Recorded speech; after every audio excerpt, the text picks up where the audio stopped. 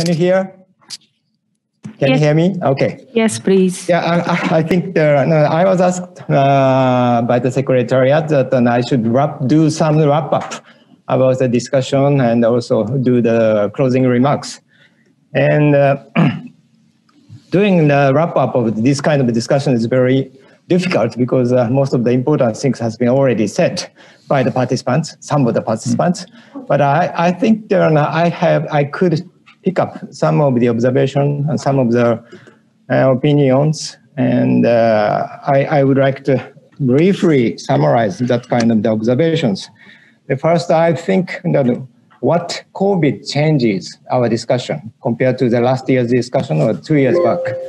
And I think that many of the participants mentioned about value or happiness, or maybe the social science, or the way of our living.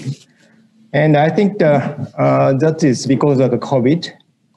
And uh, if the, there was no COVID, maybe then we didn't discuss about this so uh, extensively.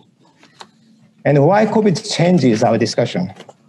Uh, Dr. Sumi already mentioned about the COVID uh, prohibits our movement and also the communication, and which is related with our entertainment.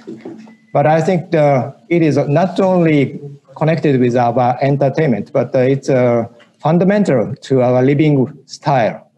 Communication and uh, moving is uh, a kind of the feature of our humankind. So I think the COVID just stops us, just forced us to being the human. So I think that maybe you know, due to that kind of the uh, strong, uh, strong force, we need to think about our own selves, and especially the this kind of the communication and the moving is something uh, very peculiar to our uh, modern society. And uh, so because of COVID, we need to realize the context of the modern society, probably. And uh, if there's no COVID, we didn't think about anything about the, this kind of context. But we found that this context, or in other words, the inertia of our own society. And so I think that probably you know, we need to think about this own inertia of our society and which is the already mentioned by the Dr. Fukushi as a capitalism, maybe. And also uh, we need to think about the uh, excessive use of the energy and the materials.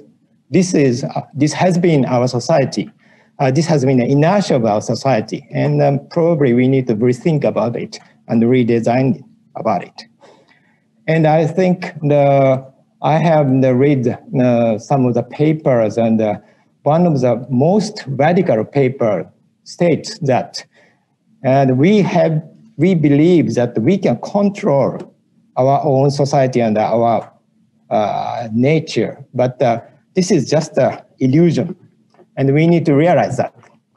I think that's the most uh, drastic paper or most radical paper, and so I think that uh, even our natural scientists, we try to control our own world. But I think that we need to realize something about it. we are not perfect, as already discussed. So uh, given this the pre-assumption of the controllability, probably we need to rethink about this pre-assumption. And uh, also the, I would like to mention the last thing, and uh, we are just uh, accustomed to uh, think our world is a human world or human kingdom.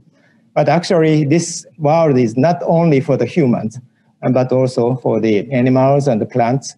And I think that we need to reconsider this fact. This is actually a fact, but probably we tend to uh, forget about this fact. And but uh, COVID actually realizes us to notice this important fact. So probably uh, we will make the another uh, symposium in the next time, next year or this year. I should, I, I don't know. But anyway, uh, that time and our discussion will change more probably. that's my observation. And finally, I would like to thank all the participants and all the discussants, all the audience to uh, thank, thanking. And uh, I hope you have a very good, really good year uh, this time. Thank you.